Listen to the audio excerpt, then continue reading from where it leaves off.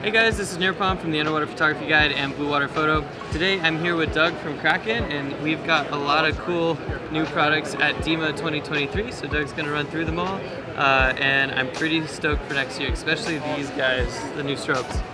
I'll let you get to it. All right.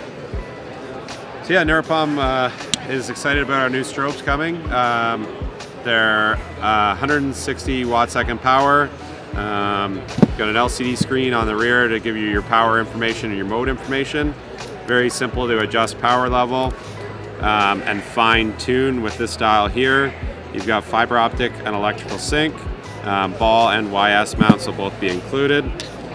Bayonet mount on the front to add on accessories.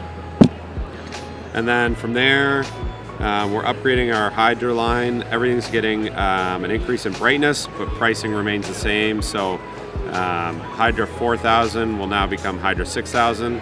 The 6000 becomes 8000 lumens, and the 8000 will become 10, and then our 15000s are now up to 18,000 lumens.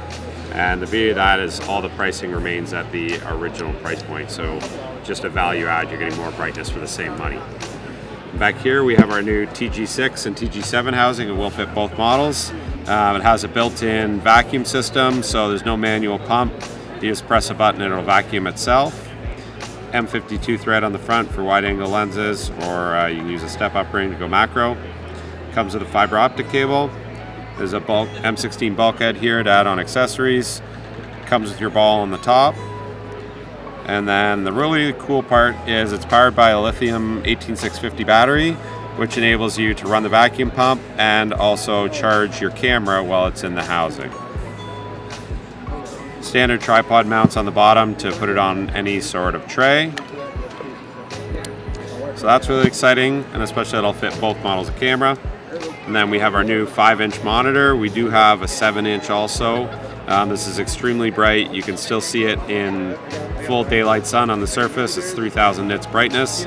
Um, very easy to adjust through your modes. Uses the same battery as our Hydra um, 6000 and 8000, so you get really long uh, burn time, about four hours, and this is uh, HDMI. The other really new exciting product that's first in the industry is uh, our LEP dive torch. So this is actually a laser. So you can see it's a very fine beam, very concentrated, so it'll it'll go for very long distances. It's great light for signaling, and it also does have a nice wide flood beam built in too. So we're looking forward to all these new products coming, and uh, can't wait to get them on the market.